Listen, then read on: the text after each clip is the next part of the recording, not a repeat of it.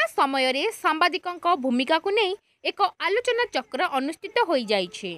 Brahmapur town hall ପରିସରରେ Kalinga TV ପକ୍ଷରୁ ଏହା ଆୟୋଜିତ କରାଯାଇଥିଲା।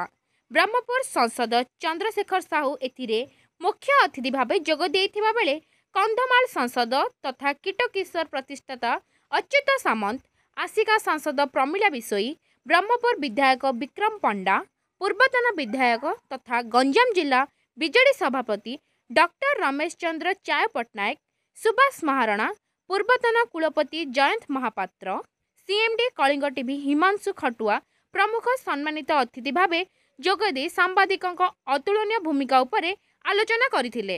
ସାମ୍ବାଦିକମାନେ ସବୁ କ୍ଷେତ୍ରରେ ତାଙ୍କ ରୋଲ୍ ନିଭେଇଥାନ୍ତି। କରୋନାରେ ସବୁଠୁ ବଡ଼ ରୋଲ୍ ନିଭେଇଲେ ନିଜ ଜୀବନକୁ ଉତ୍ସର୍ଗୀକୃତ କରିବା ସହିତ ମାନେ ବିପଦକୁ ଭୃ- ଭ୍ରୂକ୍ଷେପ ନ କରି ସେମାନେ ତାଙ୍କର କର୍ତ୍ତବ୍ୟ ସମାଧାନ କରିଛନ୍ତି। ତେଣୁ ସାମ୍ବାଦିକମାନଙ୍କୁ ବହୁତ ବହୁତ ଧନ୍ୟବାଦ ସାଧୁବାଦ ଦେଉଛୁ।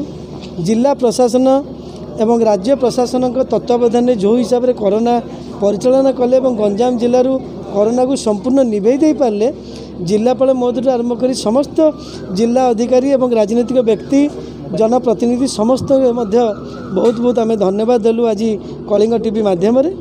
ଏବଂ ଆଗାମୀ ଦିନରେ କିସ୍ର ଏକ ଶାଖା ଆମେ ଖୋଲିବାକୁ ଯାଉଛୁ ଗଞ୍ଜାମ ଜିଲ୍ଲାରେ ଯେଉଁଟାକି ଗଞ୍ଜାମ ଜିଲ୍ଲାର କେବଳ ପିଲାମାନେ ହିଁ ପାଠ ପଢ଼ିବେ ଏବଂ ଗଞ୍ଜାମ ଜିଲ୍ଲାର ପିଲାମାନେ ହିଁ ଚାକିରି କରିବେ। ବ୍ରହ୍ମପୁରରୁ ସ୍ୱାଧୀନ ସାହୁଙ୍କ ରିପୋର୍ଟ ଭାଗ୍ୟପ୍ରଭା ନ୍ୟୁଜ୍।